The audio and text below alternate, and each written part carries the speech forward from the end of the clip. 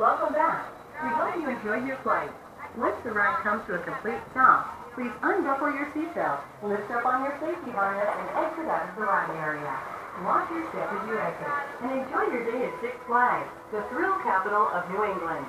The thrill is calling.